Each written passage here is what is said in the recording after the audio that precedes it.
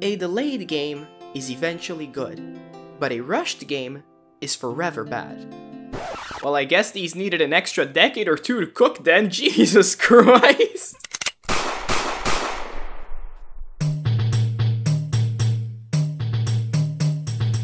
I'm sure we all know at this point of some of the problems that are plaguing the gaming industry. Everyone in this platform hasn't shut up about longer development times, extrapolating budgets, highly optimized, target group focused, whatever the fluff these are supposed to be, and the audacity to keep charging more and more and more for products that deliver less and less and less. So I won't bore you to death by going over all of that again. Instead, I will get right to the point. There is an outlier to this phenomenon, unaffected by rising development costs and seemingly immune to the classic, This game's been in development for 8 trillion years and it is the best thing we have ever made.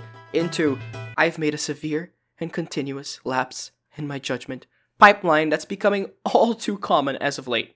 Obviously, I'm referring to Nintendo, and their unparalleled success with the Nintendo Switch. When we look at modern day gaming, Nintendo can seem like an oasis, pumping out quality title after quality title non-stop for 7 years while others struggle to release even one competent game per year.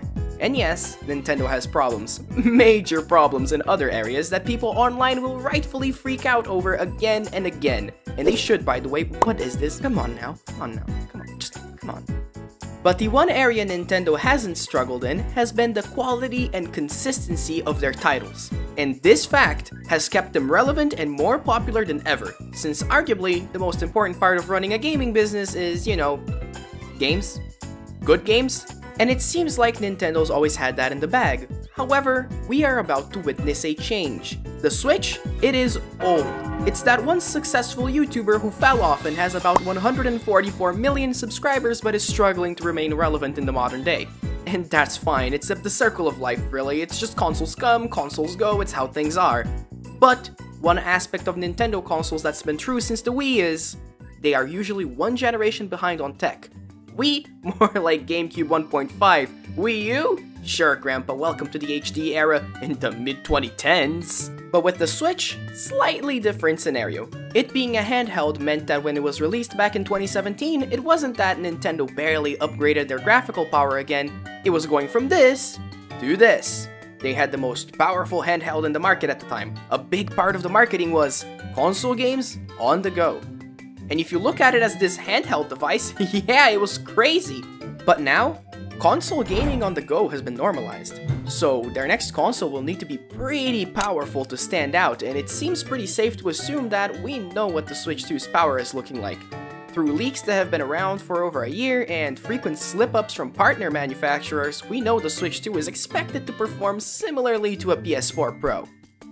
Another massive leap, a monumental change in tone from the old 900p 30fps shot straight into 1080p 60, maybe even higher. With Nintendo, we're seeing the course of history repeating itself right in front of our eyes again, and we know where that leads.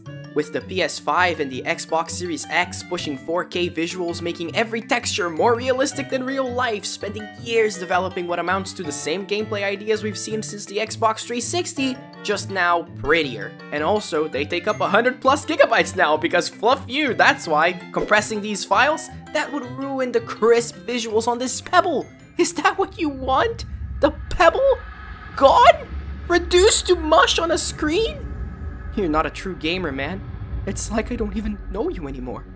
You could... You could fix that by subscribing to the channel to catch more videos like this one and make me a happy cat because insert YouTuber graph. Oh no! This is your call to action. Subscribe, please. Needless to say, I'm petrified at the prospect of Nintendo making the same mistakes. And to be clear here, there's nothing wrong with a big budget production, not at all. Your The Last of Us's, your Red Dead 2's, they're amazing and there's space and there's a market for them. Where Sony and Xbox went wrong was when they hyper-focused into making every game the next graphical leap. Every game the next biggest open world. Every game the next big thing. And they don't have to be. Hell, we've seen it. They can't be. They actively condition their fans to expect leaps in graphical fidelity with every new release. They actively sabotage their chances of running a profitable business with these games. And right there, That's what Nintendo has to do differently with the Switch 2. They'll have in their hands now the power to create high fidelity, massive experiences for every series they own. And I know that may sound incredible, a dream come true even, but they cannot be stretched thin. That's not to say we won't see any of these massive endeavors from Nintendo. The next 3D Mario should by all means go all out in every possible way. Same thing with 3D Zelda, and maybe even Smash Bros. and Animal Crossing.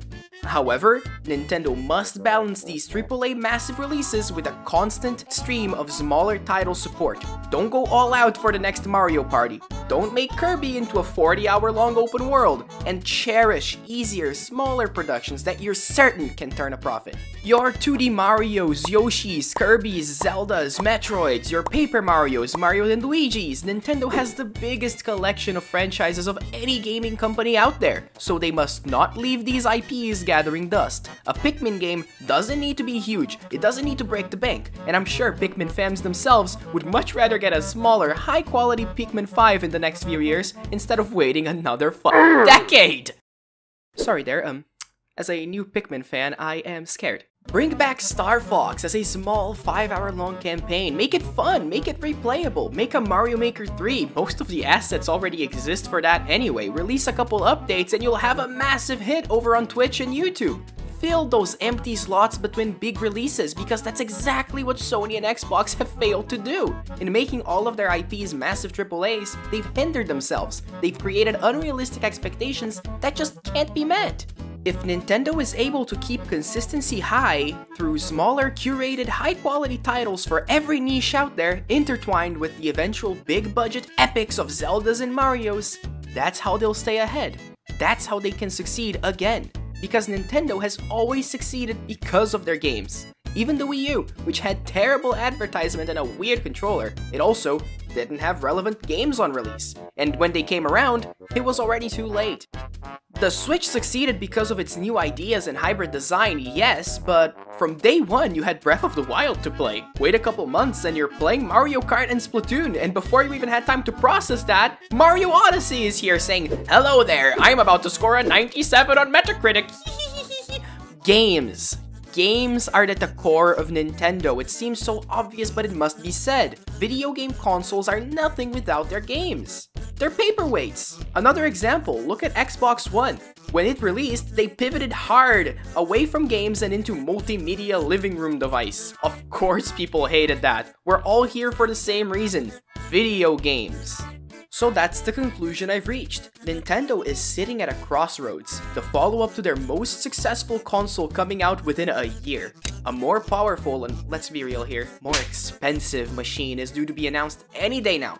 And yet, we're still getting a decent lineup on the Switch. It is of utmost importance for Nintendo to guarantee that whatever they have cooking for next year can match or even surpass the momentum they had in 2017. If they want to succeed again, it will be harder. The novelty of a hybrid console is gone, and there is tougher competition in the space because back then there wasn't any competition at all. I'm anxiously anticipating whatever they have next for us, and I'm sure that from the very first reveal trailer, we'll be able to tell if it's history in the making or history history in the making.